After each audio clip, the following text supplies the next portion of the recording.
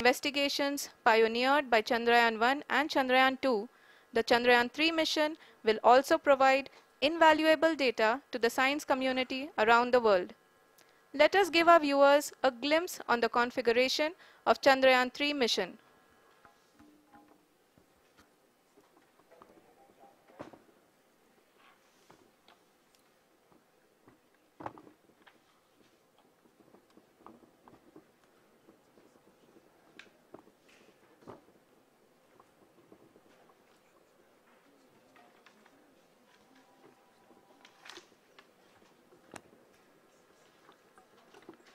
Chandrayaan three का mission plan लगभग लगभग चंद्रयान दो के तरह ही बनाया गया है।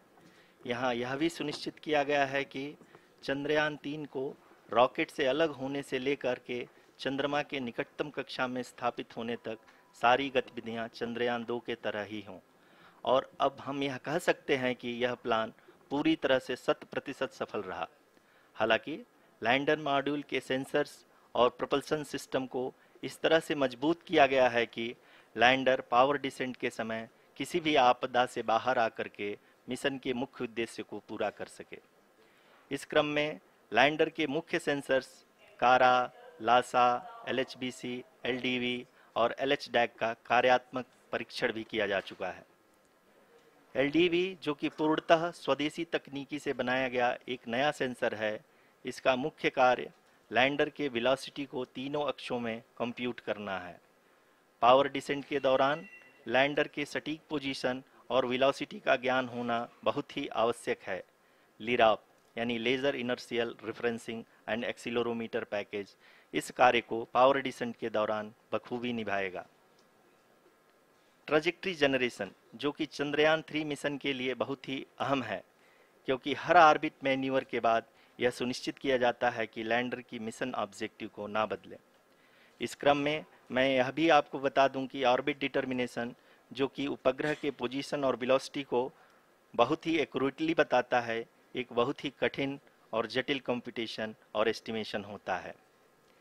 यहाँ यह भी जानना महत्वपूर्ण है कि चंद्रयान दो का O H R C payload अब तक काफ़ी ऊँचे स्तर का डैम प्रदान किया है, जिसके फलस्वरूप लैंडिंग साइट के सीमा को बढ़ाकर चार गुड़े दो दशमलव चार किलोमीटर कर दिया गया है। जो कि पावर डिसेंट के दौरान सॉफ्ट लैंडिंग कराने में काफ़ी सहायक सिद्ध होगा Apart from the sensors, Chandrayaan 3 is equipped with a suite of sophisticated payload instruments. While Chandrayaan 1 and Chandrayaan 2 orbiter have provided abundant remote sensing data of moon, equally important are the on-site localized measurements that provide ground truths. Lander and rover have payloads which are completely new and will perform in situ analysis of lunar surface. The two spectroscopes on rover, APXS and LIBS, will actively measure the surface elemental abundances at the landing location and surrounding area. The lander carries a seismometer ILSA that can sense impact events and lunar quakes. The thermal probe CHAST will measure the temperature profile and thermal conductivity of Moon's regolith. The Rambha payload will carry out lunar ionosphere studies while the laser retroreflector array shall be a passive location indicator for future spacecraft equipped with laser altimeter. The propulsion module has not been left behind and an experimental shape payload has been added to it as a value addition. It will help in understanding the nature and characteristics of water-rich planets and will also aid in the future study of potentially habitable exoplanets. We are minutes away from the start of powered descent. The entire powered descent shall be carried out by the onboard autonomous landing sequencer or ALS, which is a series of instructions preloaded to the lander module. These instructions include the commands to be executed, data to be collected and analyzed, and decisions to be made and executed autonomously throughout the powered descent.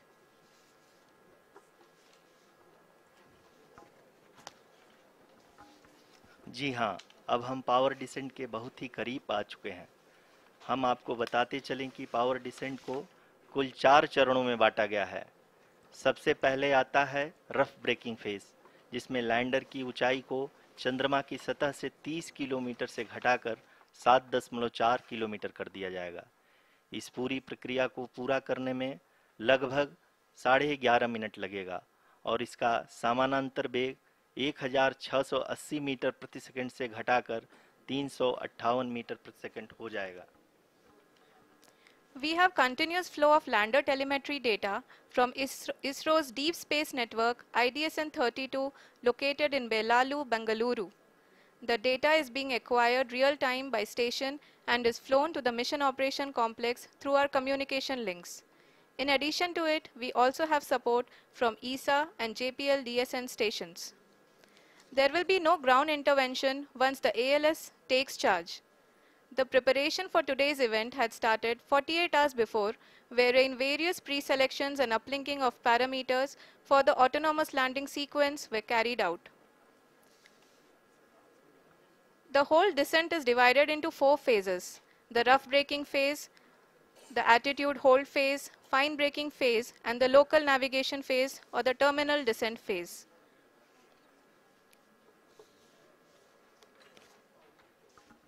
जी हाँ attitude hold phase जो कि power descent का दूसरा चरण है, एक बहुत ही महत्वपूर्ण फ़ेज़ है। इस 10 सेकंड के स्मॉल ड्यूरेशन के दौरान लैंडर के दो महत्वपूर्ण सेंसर कारा और लासा लैंडर की ऊंचाई की गणना करेंगे। इस फ़ेज़ के पूरा होते ही लैंडर चंद्रमा के सतह से कुल 6.8 किलोमीटर की ऊंचाई पर होगा। During the rough braking phase, the lander velocity shall be brought down from 1680 meters per second to 358 meters per second. The altitude will be brought down from 30 kilometers to 7.4 kilometers at the end of rough braking.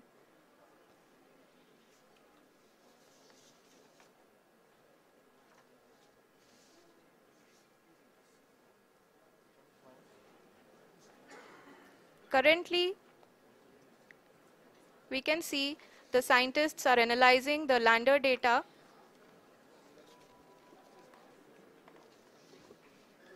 जी हाँ हम ये देख सकते हैं कि mission operation complex रूप में बैठे सभी वैज्ञानिक ये जो भी डेटा देख रहे हैं, वो deep space network IDSN thirty दो, थर्टी टू के द्वारा प्रोवाइड किया जा रहा है।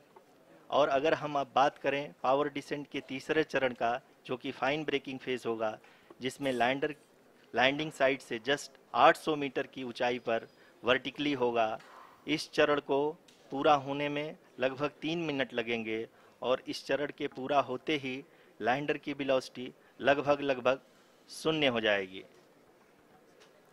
The scientists here at ISTRAC are glued to their systems, analyzing all sorts of complex data. We are very close to the power descent, to the start of the power descent phase.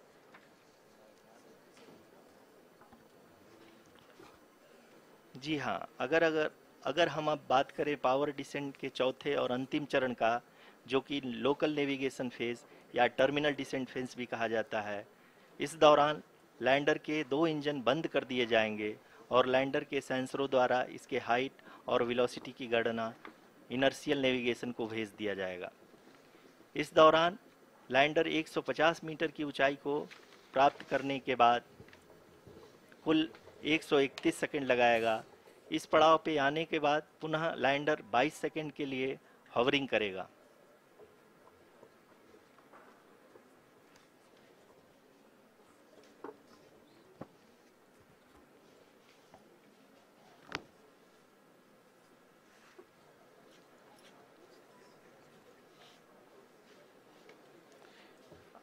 आप इस समय अपने screen पे mission operation complex में बैठे सभी मान्यगणों को देख सकते हैं, जो कि बहुत ही उत्सुकता के साथ टेलीमेट्री डेटा को देख रहे हैं।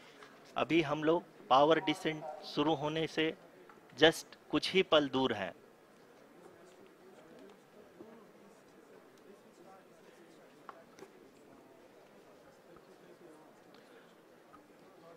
पावर डिसेंट शुरू होने में लगभग लगभग 30 सेकंड ही बचा है और हमको ये सारे data mission operation complex room में आईडीएसएन 32 के द्वारा जो कि लगातार लैंडर के कनेक्शन में बना हुआ है प्रदान कर रहा है। Dear viewers, the pivotal power descent has begun and the lander module is propelling towards the moon's surface along the intended trajectory.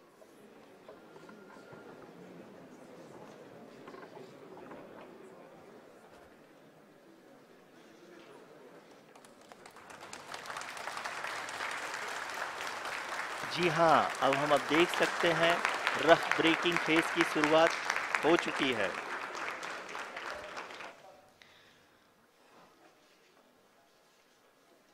During this rough braking phase, the lander velocity shall be brought down from 1680 meters per second to 358 meters per second. The altitude will be brought down from 30 kilometers to 7.4 kilometers at the end of rough braking. All this in the duration of 690 seconds or 11.5 minutes. Currently, the Laser Inertial Reference and Accelerometer package LIRAP is aiding in the navigation. जी हाँ अभी आप अपनी screen पे देख सकते हैं कि lander अब तक कुल एक सौ इक्यानवे किलोमीटर हॉरिजेंटल दिशा में चल चुका है और अब त, अभी तक इसकी वेलोसिटी लगभग 31 किलोमीटर बनी हुई है।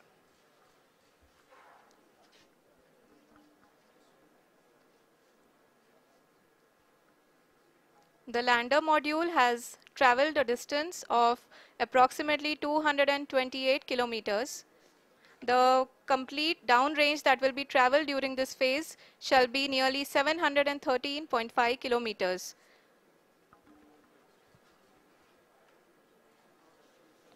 जी हाँ कुल 745 किलोमीटर के इस रफ ब्रेकिंग फ़ेज़ में आप देख सकते हैं कि हम लोग लगभग लगभग अपनी यात्रा 20 परसेंट कंप्लीट कर चुके हैं।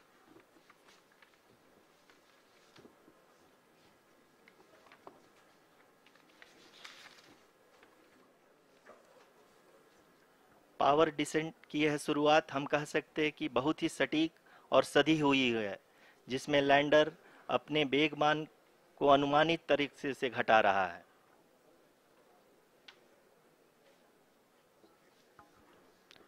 The altitude of the lander module will reduce from 7.4 kilometers to 6.8 kilometers. During the next phase, which is going to be the attitude hold phase. We can currently see that the altitude of the lander module is nearly 31 kilometers. आर अभी हम इस ground trace को देखते हुए कह सकते हैं कि रफ ब्रेकिंग फ़ेज़ की शुरुआत बहुत ही अच्छे तरीके से हुई है आप ये देख सकती हैं कि जो भी प्रोजेक्टेड ग्राउंड ट्रेस है, उसी पे अपना लैंडर मॉड्यूल आगे चलते हुए बढ़ रहा है अभी तक ये देखा जा सकता है कि लैंडर मॉड्यूल लगभग लगभग 370 किलोमीटर 36 दिशा में चल चुका है The mission operations team is analyzing the data. We can all see the seriousness and the concentration with which each and every parameter of the lander module is being analyzed. The performance, see, the performance so far seems to be nominal.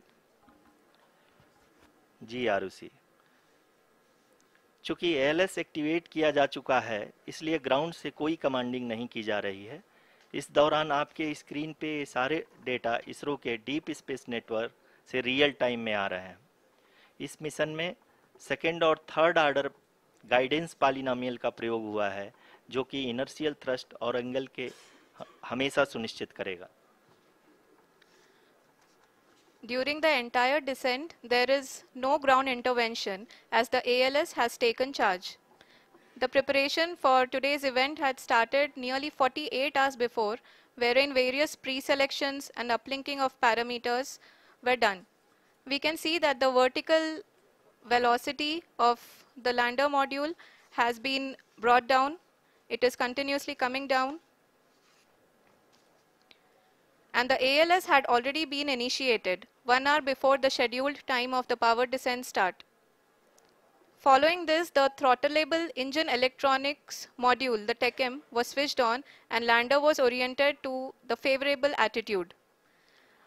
जी हाँ आप अपनी screen पे देख सकते हैं कि lander module, जिसकी शुरुआत में वेलोसिटी 1680 मीटर पर सेकंड थी, लगभग लगभग 1150 मीटर पर सेकंड हो चुकी है, जो कि एक बहुत ही मैजेस्टिक शुरुआत कही जा सकती है इस रफ ब्रेकिंग फ़ेज़ के लिए।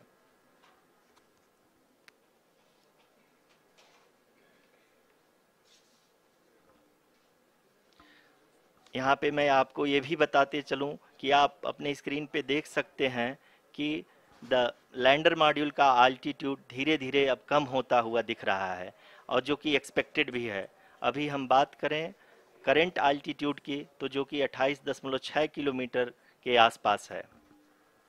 आप स्क्रीन पर ये भी देख सकते हैं Chandrayaan three lander imager display the lander imager is continuously giving is continuously taking photographs of the moon's surface and that is also being streamed here. Currently the horizontal velocity has been brought down and the distance traveled is 574 kilometers. The current altitude is 27 kilometers as can be seen on the screen. जी हाँ करीब करीब अपने आधे सफ़र को पूरा करते हुए इस रफ ब्रेकिंग फ़ेज़ में लैंडर बहुत ही आगे की तरफ़ बढ़ते हुए अपनी ऊंचाई को घटा रहा है। अगर अब बात करें तो लैंडर की ऊंचाई चंद्रमा के सतह से लगभग 27 किलोमीटर से नीचे हो चुकी है। करीब करीब 26.7 किलोमीटर के आसपास है। The next phase after the rough braking phase is the attitude hold phase which will be for a duration of nearly 10 seconds the lander will be oriented such that both the altimeters will be looking exactly towards the moon's surface. At the end of this attitude hold phase, height measurement update to navigation system will be given from the laser and car band altimeters. Currently, we are in the middle of the rough braking phase. जी हाँ अगर हम ध्यान से देखें तो लगभग आठ से आठ मिनट की यात्रा के बाद लैंडर अपनी हॉरिजेंटल वेलोसिटी को लगातार कम करते हुए अपनी ऊंचाई, अभी की ऊंचाई के समय 24 24 किलोमीटर की ऊंचाई प्राप्त कर चुका है।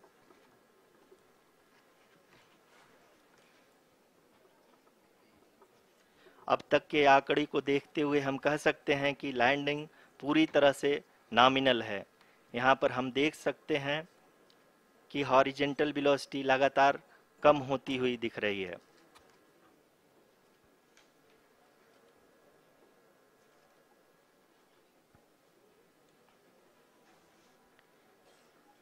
The altitude of lander from ground is currently 12 kilometer is currently 22 kilometer which is again going to be coming down and that and that is expected.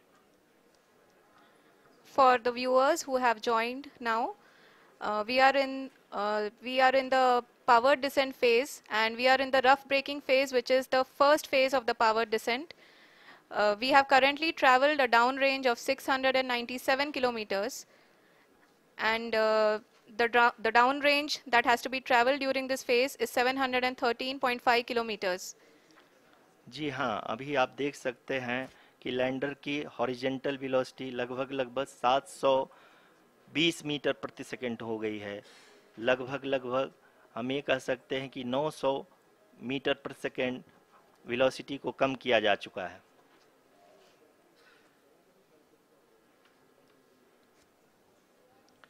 At the same time, we can see the altitude of the lander is just 17 17.8 kilometer from the moon surface. which is going to be around 7.4 at the end of the rough braking phase.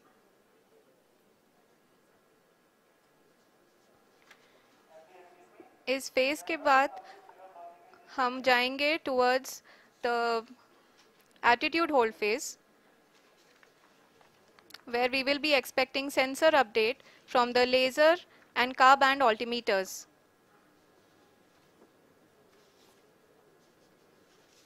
we can see the visualization of the lander module moving towards the moon's surface.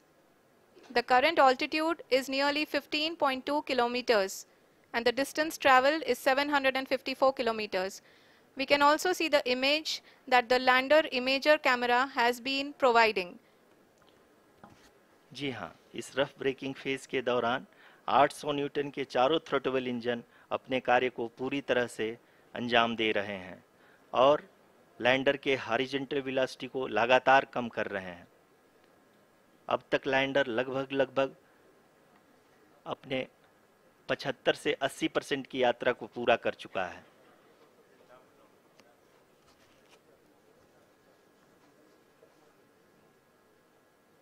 After the rough braking and the attitude hold phase, we shall be having the fine braking phase, which will continue for nearly 3 minutes. The whole phase is being driven by the autonomous landing sequencer and there is no intervention from ground. जी हाँ आरुषि अभी आप अपनी screen पे देख सकती हैं कि जो करंट आल्टीट्यूड है चंद्रमा के सतह से लगभग लगभग 10 किलोमीटर के आसपास है। जी हाँ हम अपने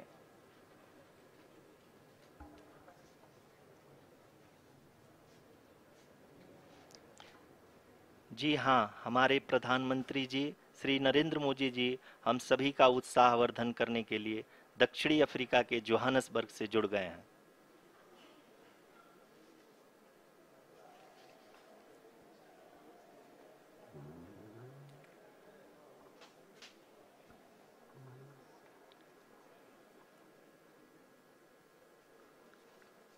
Yes, we are privileged to have with us Honorable Prime Minister of India, Sri Narendra Modi ji, who has joined us from South Africa's Johannesburg to encourage us.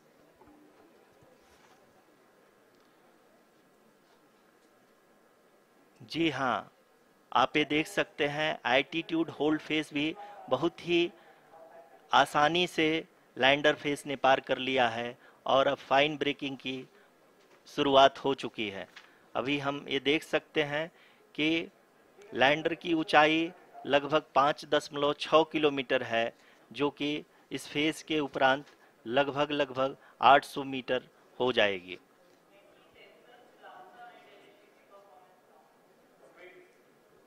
We can hear from the uh, mission operations team that the sensors are performing nominally and uh, we are currently in the midst of the fine braking phase which is going to continue for 3 minutes and the altitude is going to be reduced to nearly 800 800 meters at the end of this phase जी हाँ जैसा कि आरुषि जी ने बताया कि लगभग तीन minute के उपरांत लैंडर की हाइट लगभग 800 मीटर वर्टिकली होगी और यहाँ पे लैंडर की horizontal velocity vertical velocity even down range भी लगभग लगभग शून्य होगा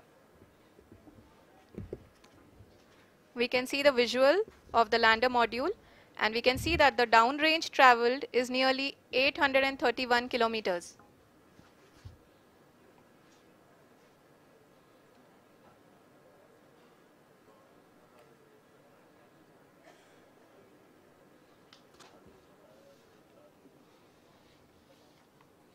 जी हाँ आप अपनी स्क्रीन पे देख सकते हैं कि लैंडर की ऊंचाई अब चंद्रमा के सतह से लगभग तीन किलोमीटर से कम हो चुकी है। We are very close to the moon surface nearly two point six kilometres as we can see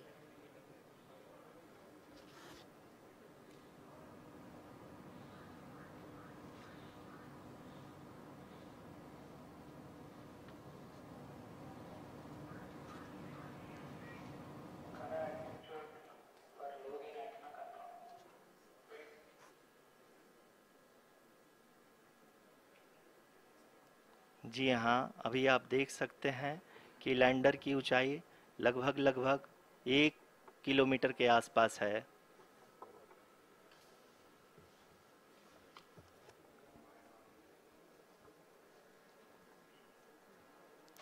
We are nearing the final phase of the power descent which is going to be the vertical descent phase और the local navigation phase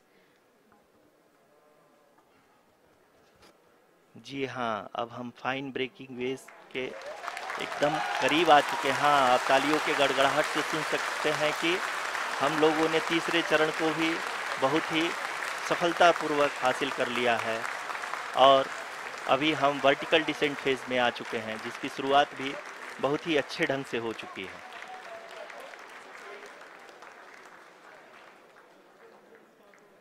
Lot of applause. Indicates that uh, till now the performance has been nominal. We are in the vertical descent phase 1. The altitude is being brought down from 800 meters and we are nearing and approaching the lunar surface. जी आप अपने screen पे देख सकते हैं कि lander का height लगातार कम होता जा रहा है इस समय हम लैंडिंग साइट के जस्ट ऊपर हैं और इस समय इसकी ऊंचाई लगभग लगभग 600 मीटर के आसपास है इस इस इस फ़ेज़ के दौरान लगभग 150 मीटर के ऊंचाई पे पहुँचने के बाद लैंडर अगेन लगभग 20 से 22 सेकंड के लिए हॉरिंग करेगा We are above the landing site. The horizontal as well as the vertical velocity is now being constantly reduced. And the lander module has begun its descent towards the landing site.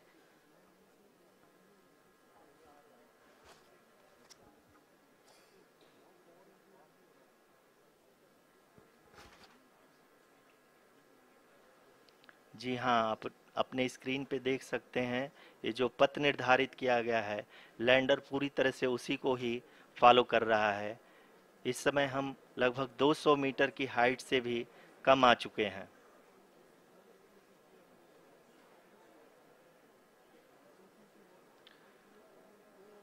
अब हम ये देख सकते हैं कि हम लगभग लगभग 150 मीटर की ऊंचाई पे हैं चंद्रमा के सतह से।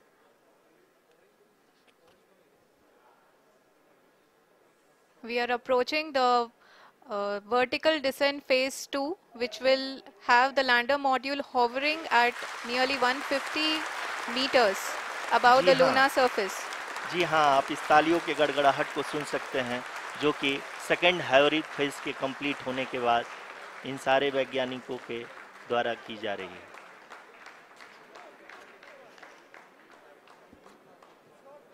जी हाँ आप अगर फिर से ध्यान से देखें तो आल्टीट्यूड पुनः कम होता जा रहा है।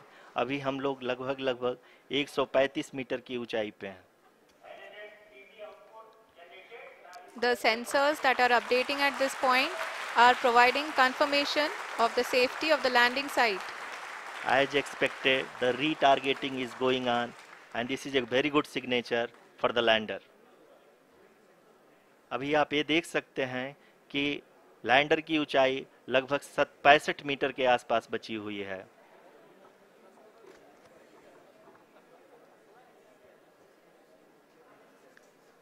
Currently, only two engines are now being fired, and uh, we are nearly at zero velocity, vertical and horizontal. We are we were hovering, and now we are approaching the moon's surface. धीरे धीरे lander की वेगमान को कम किया जा रहा है और हम अब लगभग 50 मीटर से भी कम आ चुके हैं we can see the Honorable Prime Minister, Sri Narendra Modi ji, who is here to encourage us and he is critically looking at the visuals.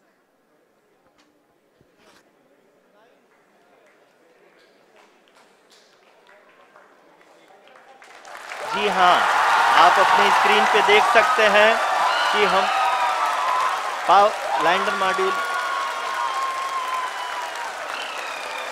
people are applauding from the secretary department of space and chairman ISRO Shri S Somanath lander module पूरी तरह से safely और softly